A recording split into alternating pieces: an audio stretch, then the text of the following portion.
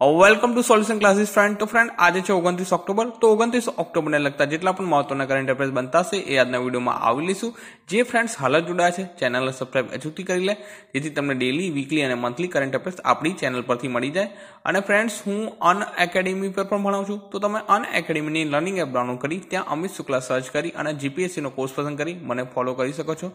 અન academy પર આપણે તલાટી કમ મંત્રી બંધારણ સિરીઝ ત્યારબાદ યુજીસીએલ એમજીવીસીએલ ડીજીસીએલ માટે કોર્સ અપલોડ કરેલ છે. તમે તે બધા જ કોર્સનો ફ્રીમાં લાભ લઈ શકો છો. ઓકે ફ્રેન્ડ્સ તો તેની લિંક મેં ડિસ્ક્રિપ્શનમાં આપી છે. ત્યાંથી પણ તમે મને જોડાઈ શકો છો. તો ફ્રેન્ડ્સ આજનો પહેલો ક્વેશ્ચન બને છે.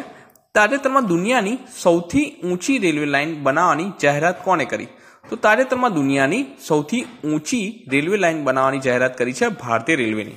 કોને કરી છે? ભારતીય રેલવે દુનિયાની સૌથી ઊંચી રેલવે લાઇન બનાવવાની જાહેરાત કરી છે. હવે આ જે રેલવે લાઇન છે, ક્યાંથી ક્યાં વચ્ચે હશે, તો એ પણ આપણને ખબર હોવી જોઈએ. તો આ રેલવે લાઇન છે લદાખથી નવી દિલ્હી વચ્ચે. ક્યાંથી ક્યાં? તો લદાખથી નવી દિલ્હી વચ્ચે આ ઊંચી રેલવે લાઇન જે છે, દુનિયાની સૌથી છે, ઓકે? તો આ બે સ્થળ વચ્ચે હશે. હવે જ્યારે પણ રેલવે વિશે આવે, રેલવે વિશે સાંભળીએ, તો આપણને થોડી માહિતી ખબર હોવી જોઈએ રેલવે વિશે. તો હાલના રેલવે મંત્રીનું નામ ખબર હોવું જોઈએ. શું નામ છે? પિયુષ ગોયલ હાલના રેલવે મંત્રી છે. ત્યારબાદ જ્યારે આપણે રેલવે મંત્રીની વાત સાંભળીએ, તો આપણને ખબર હોવી જોઈએ કે ભાઈ ભારતના પ્રથમ રેલવે મંત્રી કોણ હતા? તો જોન મથાઈ. એ પણ ઘણીવાર પૂછાઈ જાય. તો ભારતના પ્રથમ રેલવે મંત્રી હતા, એટલે કે સ્વતંત્ર ભારતના પ્રથમ રેલવે મંત્રી હતા જોન મથાઈ. ત્યારબાદ એવું પૂછે કે ભાઈ રેલવે બોર્ડના અધ્યક્ષ કોણ? તો અશ્વની લોહાણી. કોણ છે? અશ્વની લોહાણી રેલવે બોર્ડના અધ્યક્ષ છે. તો જ્યારે પણ રેલવે વિશે સાંભળો, આટલી માહિતી અચૂક યાદ રાખો. ઓકે? નેક્સ્ટ ક્વેશ્ચન લઈશું આપણે. તાજેતરમાં કયા રાજ્યમાં રાજ્યની પ્રાદેશિક ફિલ્મનું ટાઇટલ પ્રાદેશિક ભાષામાં જ ફરજિયાત રાખવાનો નિર્ણય લેવાયો? તો કયા રાજ્યમાં? આપણા જ રાજ્યમાં. એટલે કે ગુજરાત રાજ્યમાં. એટલે કે ગુજરાતની ફિલ્મના તમામ ટાઇટલમાં ગુજરાતી ફરજિયાત. શીર્ષક અંગ્રેજીમાં હોવાથી દર્શકોને ઘણી તકલીફ પડતી હતી અને આ ફરિયાદ બાદ જે ગુજરાતના મુખ્યમંત્રી છે વિજય રૂપાણી, તેમને દખલગીરી કરી અને જે ગુજરાતી ફિલ્મના તમામ ટાઇટલ ને ગુજરાતીમાં ફરજિયાત રાખવાની દરખાસ્ત કરી છે. હવે એના વિશે ડિટેલમાં જાણીએ. તો ગુજરાતી ફિલ્મના શીર્ષક એટલે કે નામ અને નિર્માતાનું નામ, નિર્દેશક, સંગીતકાર, કલાકાર, ટેકનિશિયન, કમ્પોઝરનું નામ ગુજરાત સિવાયની અન્ય ભાષા ખાસ કરીને અંગ્રેજીમાં આવતા હોવાથી પ્રેક્ષકોને વાંચનમાં તકલીફ પડે છે. તેવી ફરિયાદ મુખ્યમંત્રી વિજય રૂપાણી સમક્ષ થઈ અને આ રજૂઆતથી એવો પણ ઉલ્લેખ થયો કે અન્ય રાજ્યમાં સ્થાનિક પ્રાદેશિક ભાષામાં જ પ્રાદેશિક ભાષાની ફિલ્મના ટાઇટલ હોય છે. આથી મુખ્યમંત્રીએ પણ આ બાબતને યોગ્ય જાણતા તેમણે ગુજરાતી ચલચિત્ર માટે ગુણવત્તા સમન્વિત પ્રોત્સાહિત નીતિ બે હજાર સોળ બાબતે ફેરફાર કરાયો. એટલે કે જે ગુજરાતની ચલચિત્ર માટે ગુણવત્તા સમન્વિત પ્રોત્સાહન નીતિ છે, તેમાં ફેરફાર કરાયો છે. હવે આમાં એક થોડા એક્સ્ટ્રા ફેક્ટ પણ આપે છે કે ભાઈ ફિલ્મનું મૂલ્યાંકન અને ગ્રેડ કઈ રીતે અપાય? તો ફિલ્મની કથા, પટકથા, સંવાદ અને દિગ્દર્શન, અભિનય, ગીત composing art direction sound recording દ્રશ્યો લોકેશન વેશભૂષા પ્રેક્ષકોનો મળેલ આવકાર જેવા ચૌદ પેરામીટરના આધારે ફિલ્મને સો માર્કમાંથી માર્ક અપાય છે અને માર્કને આધારે ગ્રેડેશન થાય છે. એટલે કે જે એક્યાસીથી વધુ માર્ક હોય તો એને ગ્રેડ એમાં દાખલ કરવામાં આવે છે. એકસઠથી એંસી માર્ક હોય તો એને ગ્રેડ બી, એકાવનથી એકસઠ હોય તો સી અને એકતાલીસથી પચાસ હોય તો ડી. અને એકતાલીસથી ઓછા માર્કવાળાને કોઈ પણ ગ્રેડ આપવામાં નથી આવતા. હવે, જ્યારે પણ રિજનલની વાત થાય, પ્રાદેશિકની વાત થાય, તો આપણને અમુક રિજનલ ભાષા ખબર હોવી જોઈએ રાજ્યની. કે ભાઈ કયા રાજ્યમાં કઈ બોલી અને પ્રાદેશિક ભાષા છે? તો મહારાષ્ટ્રની મરાઠી, કેરલામાં મલયાલમ બોલાય, જે પ્રાદેશિક ઓફિશિયલ પ્રાદેશિક ભાષા છે. મહારાષ્ટ્રની મરાઠી છે, જેમ ગુજરાતી ગુજરાતી. ત્યારબાદ તમિલનાડુમાં તમિલ, ઓકે? તમિલ ભાષા ક્યાં બોલાય છે? ઓફિશિયલી તો તમિલનાડુમાં. ત્યારબાદ આસામની આસામીસ આસામીસ ભાષા છે આસામની. આંધ્રપ્રદેશની તેલુગુ, ઓકે? આપણને હંમેશા કન્ફ્યુઝન હોય કે ભાઈ તેલુગુ પિક્ચર કયા રાજ્યનું અને તમિલ? તો આજે ખ્યાલ આવી ગયો છે. તમિલનાડુમાં તમિલ અને આંધ્રપ્રદેશની તેલુગુ ભાષા. ત્યારબાદ કર્ણાટકમાં કન્નડ ભાષા ઓફિશિયલ છે. તો આ અલગ અલગ રાજ્યોની મહત્વની ભાષા છે, જે એક્ઝામમાં પૂછાઈ જાય. નેક્સ્ટ ક્વેશ્ચન લઈશું. એશિયન ટોપ યુનિવર્સિટી રેન્કિંગમાં ટોપ પર કઈ યુનિવર્સિટી રહી? તો એશિયન ટોપ યુનિવર્સિટી રેન્કિંગમાં ટોપ પર રહી છે નેશનલ યુનિવર્સિટી ઓફ સિંગાપુર કઈ રહી છે?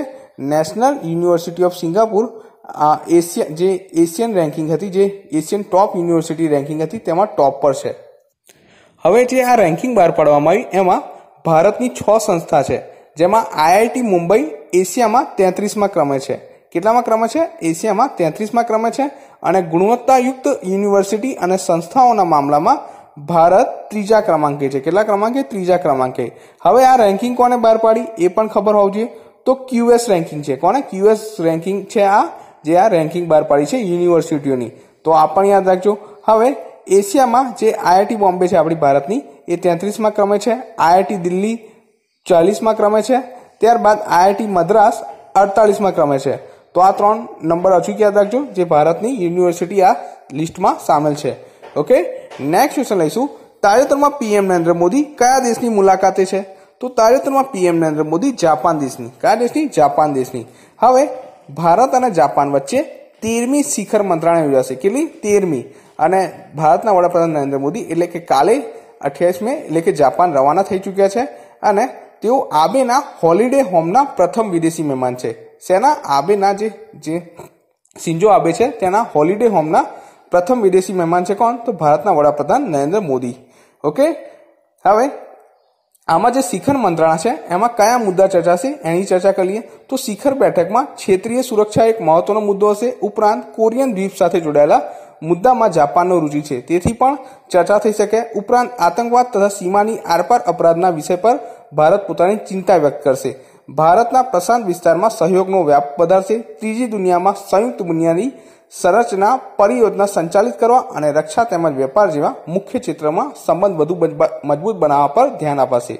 તો આ મહત્વના. તો યાદ રાખજો, હાલમાં જ વડાપ્રધાન નરેન્દ્ર મોદી જાપાનની યાત્રાએ છે. અને જે આવે છે સિંજો આબે તેના હોલિડે, તેમના હોલિડે હોમમાં પ્રથમ વિદેશી મહેમાન બનશે. તો આ પણ યાદ રાખજો. નેક્સ્ટ ક્વેશ્ચન લઈશું.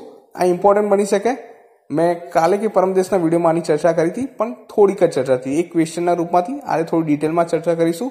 તો ક્વેશ્ચન છે, ગોગા દહેજ રોરો ફેરી બીજા તબક્કાનો પ્રારંભ ક્યાંથી થયો? ફ્રેન્ડ્સ ક્યાંથી થયો છે ક્વેશ્ચન તો ક્યાંથી થયો છે? ગોગાથી.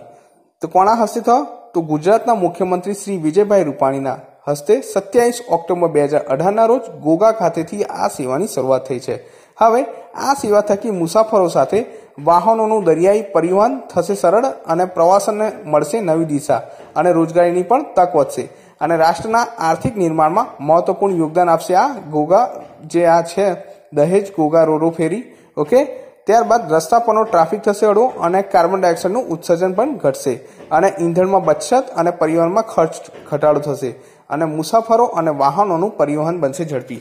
હવે આ બધી વાતો આપણે ચર્ચા કરી લીધી. પણ શા કારણે? તો જે વાહનોનું પરિવહન શા કારણે ઘટશે? તો ત્રણસો કિલોમીટરનું અંતર ખાલી માત્ર એકત્રીસ કિલોમીટરના અંતરમાં ફેરવાઈ જશે. અને આઠ કિલો, આઠ કલાકની મુસાફરી માત્ર એક કલાકમાં પૂર્ણ થશે. એટલા માટે આ ખૂબ જ ઝડપી અને ખૂબ જ નજદીક થઈ ગઈ છે આ આ જે ગોગા દહેજ રોરો ફેરીના મારફતે. હવે ગોગા દહેજ રોરો ફેરી છે, એના જહાજની લંબાઈ આપણને ખબર હોવી જોઈએ અને પહોળાઈ. તો ગોગા દહેજ રોરો ફેરીની જહાજની લંબાઈ છે એકસો આઠ મીટર અને પહોળાઈ છે વીસ મીટર. કેટલી છે? જહાજની જે લંબાઈ છે એકસો આઠ મીટર અને પહોળાઈ છે વીસ મીટર. હવે જ્યારે પણ ગોગા દહેજ રોરો ફેરિયા, તો આપણને મેરીટાઈમ બોર્ડ યાદ આવી જાય. તો આપણને ગુજરાત મેરીટાઈમ બોર્ડના અધ્યક્ષ ખબર હોવા જોઈએ. કોણ છે? જે એન સિંહ. જે એન સિંહ ગુજરાત મેરીટાઈમ બોર્ડના અધ્યક્ષ છે. અંતર તો ખ્યાલ છે, ત્રણસો સાહીઠ કિલોમીટર જે અંતર છે, એ ઘટીને એકત્રીસ કિલોમીટર થઈ ગયું. ઓકે? તો આ પણ યાદ રાખજો. હવે નેક્સ્ટ ક્વેશ્ચન લઈશું. શ્રીલંકાના રાષ્ટ્રપતિનું નામ જણાવો. તો શ્રીલંકાના રાષ્ટ્રપતિનું નામ છે મૈત્રીપાલા સિરિસેના. કોણ છે? મૈત્રીપાલા સિરિસેના શ્રીલંકાના રાષ્ટ્રપતિ છે. હવે મનમાં થશે કે ભાઈ સરે અચાનક આ શ્રીલંકાના રાષ્ટ્રપતિનું નામ કેમ લાવી દીધું? તો ફ્રેન્ડ્સ આનું કારણ છે કે હાલમાં શ્રીલંકાના જે રાષ્ટ્રપતિ છે શ્રીલંકાના રાષ્ટ્રપતિ કોણ છે આપણને એ ખબર હોવી તો મૈત્રીપાલા સિરિસેના. તો મૈત્રીપાલા સિરિસેનાએ શું કર્યું? તો તેમને જે એમના વડાપ્રધાન છે, રાનિલ વિક્રમસિંહ, તેમને વડાપ્રધાન પદથી હટાવી દીધા હતા. એટલે કે બરતરફ કરી અને રાષ્ટ્રપતિએ ચૂંટણીની જાહેરાત કરી હતી. ઓકે? એટલે કે એમની જગ્યાએ જે રાનિલ વિક્રમસિંહ છે, એમને હટાવીને તેમને મહિન્દ્રા, જે મહિન્દ્રા રાજપક્ષે છે, તેમને વડાપ્રધાન બનાવી દીધા હતા. તો એના બદલામાં રાનિલ વિક્રમસિંહે શું કર્યું? તો તેમણે એવું કીધું કે ભાઈ, મારી પાસે સંસદમાં મત છે અને હું વડાપ્રધાન રહીશ. તો એમના માટે સંસદમાં પ્રસ્તાવ પસાર કરવાની જાહેરાત કરી. અને હાલમાં જે શ્રીલંકા છે, બંધારણીય કટોકટીથી પસાર થઈ રહ્યું છે. એટલા માટે આ ટોપિક ખૂબ જ ચર્ચામાં છે. જે રાનિલ વિક્રમસિંહ છે, તે કહે છે કે મારી પાસે પૂરતા વોટ છે અને હું જ વડાપ્રધાન રહીશ. એટલે કે મારી પાસે સમર્થન છે. તો એટલા માટે જે મહિન્દ્ર રાજપક્ષે અને રાનિલ વિક્રમસિંહ અને જે રાષ્ટ્રપતિ છે મૈત્રીપાલા સિરાસીના, એ બાબતે ખૂબ જ ચર્ચામાં છે. એટલા માટે આ ત્રણેયના નામ યાદ રાખજો. રાનિલ વિક્રમસિંઘે જે હાલમાં વડાપ્રધાન છે, જેમને દૂર કરવામાં આવ્યા હતા. કોના દ્વારા? તો Maithripala Sirisena. Clear next question લઈશું આપણે. સરકારી અધિકારી કેટલા રૂપિયાથી વધારેની ગિફ્ટ લઈ શકે નહીં? આ ખૂબ જ ઇન્ટરેસ્ટિંગ ક્વેશ્ચન છે. તો ફ્રેન્ડ સરકારી અધિકારી પચીસ હજાર રૂપિયાથી, કેટલા? પચીસ હજાર રૂપિયાથી વધારે ગિફ્ટ લઈ શકે નહીં. હવે, હાલમાં જે દિવાળી આવી રહી છે આગામી સમયમાં તહેવાર સિઝન આવી રહી છે, એટલા માટે આ હિદાયત આપવામાં આવી છે અને બે વર્ષ પહેલા જ આ નિયમ બહાર પાડવામાં આવ્યો હતો. તો આ યાદ રાખજો, કારણ કે બે વર્ષ પહેલા સચિવાલયમાં આ જ બાબતે દરોડા પાડવામાં આવ્યા હતા ગિફ્ટ બાબતે. તો આ યાદ રાખજો, અને તમે બધા ગવર્મેન્ટ અધિકારી બનવાના છો. તો આ જે વસ્તુઓ છે, એનાથી દૂર જ રહેવું જોઈએ. સારું કામ કરશો, મનમાં સારી નીતિ હશે, તો સારા ઓફિસર જરૂર બનશો. નકન તો પેલી પાવડરવાળી નોટ હોય જ છે, તમને ખબર જ છે. કોક ને કોક દિવસો વારો આવી જશે.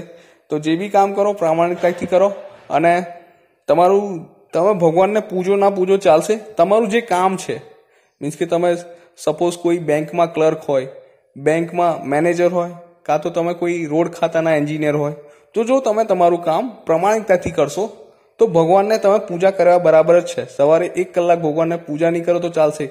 પણ તમારું કામ જો પ્રમાણિકતાથી કરશો, તો એ જ તમારું કર્મ છે, એ જ તમારી પૂજા બની જશે. અને ભગવાનને એ જ કામ સારું લાગશે. તો કર્મને સારી રીતે નિભાવો. ઓકે? નેક્સ્ટ ક્વેશ્ચન લઈશું. તાજેતરમાં ભારતના પ્રથમ મહિલા ક્રિકેટ અમ્પાયર કોણ બનશે? ફ્રેન્ડ્સ આ પણ ઇમ્પોર્ટન્ટ ક્વેશ્ચન છે. પ્રથમ આવે એટલે મનમાં એક્ઝામિનર ખુશ થઈ જાય કે ભાઈ આ પૂછી જ નાખીએ. તો ભારતના પ્રથમ મહિલા ક્રિકેટ અમ્પાયર બનશે વૃંદા રાઠીના અને એન જનની. એટલે કે બેવ કમ્બાઇન બનશે ભારતના પ્રથમ મહિલા ક્રિકેટ અમ્પાયર તો વૃંદા રાઠીના ક્યાંના છે? નવી મુંબઈ. અને એમ જનની છે ચેન્નઈના. તો આ યાદ રાખજો. નેક્સ્ટ લઈશું. વિશ્વ બિલિયર્ડ્સ કપ કોણે જીત્યો? તો વિશ્વ બિલિયર્ડ્સ કપ કોણે જીત્યો? સૌરભ કોઠારીએ. જે વિશ્વ બિલિયર્ડ્સ કપ છે, એ સૌરભ કોઠારીએ જીત્યો છે. તો આ યાદ રાખજો. અને ત્રીજા ભારતીય બન્યા છે વિશ્વ બિલિયર્ડ્સ કપ જીતનારા. હવે, જ્યારે પણ સૌરભ કોઠારી સાંભળે, એટલે કે સૌરભ સાંભળું, ત્યારે મને બીજા બે નામ પણ યાદ આવી જાય. હાલમાં જ એમના વિશે ખૂબ જ ચર્ચા કરી હતી. એક તો અઢારમી એશિયન ગેમ્સમાં અને આઈએસએસએફમાં ગોલ્ડ મેડલના સૌરભ ચૌધરી અને બીજા છે મ્યાનમારમાં હાલમાં ભારતના નવા રાજદૂત બનનાર સૌરભ કુમાર. તો જ્યારે પણ હું સૌરભ સાંભળું, તો આપણને ત્રણ સૌરભ યાદ હોવા જોઈએ. સૌરભ કોઠારી તો બિલિયર્ડ સાથે જોડાયેલા છે.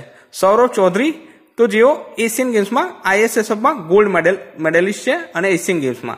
અને ત્યારબાદ જે સૌરભ કુમાર છે, એ મ્યાનમારમાં ભારતના રાજદૂત છે. તો આપણને આ ત્રણ નામ યાદ હોવા જોઈએ અને તેમના કામ. ઓકે? લાસ્ટ છે આજનો ક્વેશ્ચન દેવધર ટ્રોફી કોણ જીત્યું? તો દેવધર ટ્રોફી કોણ જીત્યું છે? India C. કોણ જીત્યું છે? દેવધર ટ્રોફી ઇન્ડિયા સી જીત્યું છે. અને આના પહેલા મેં થોડા લગભગ બે ત્રણ દિવસ પહેલા જ વાત કરેલી. ચાર દિવસ સમજી લો. વિજય હજારે ટ્રોફી કોણ જીત્યું હતું? તો મુંબઈ. ત્યારબાદ દુલીપ ટ્રોફી કોણ જીત્યું? India blue. તો આ ત્રણમાંથી જ કોઈ એક ડોમેસ્ટિકનો ક્વેશ્ચન આવશે. અને ભારતે હાલમાં એશિયા કપ જીત્યું છે અંડર નાઇન્ટી એશિયા કપ જીત્યું છે અંડર નાઇન્ટી વર્લ્ડ કપ જીત્યું છે. તો આ ત્રણ ઇવેન્ટ પણ આપણને ખબર હોવી જોઈએ. હોપફુલ વીડિયો તમને હેલ્પફુલ થયો હશે. આજના ક્વેશ્ચનમાં આપણે એટલી બી ચર્ચા જ કરી કે કોઈ ક્વેશ્ચન જ ના બને મારાથી. તમારી રીતે વીડિયો ગમે તો શેર જરૂર કરજો લાઇક જરૂર કરી દેજો અને તમારા કોઈ પણ એક એજ્યુકેશન ગ્રુપમાં વીડિયો જરૂર શેર કરજો. નેક્સ્ટ વીડિયો સાથે જલ્દીથી મળીશું. ત્યાં સુધી વાંચતા રહો અને તૈયારી કરતા રહો.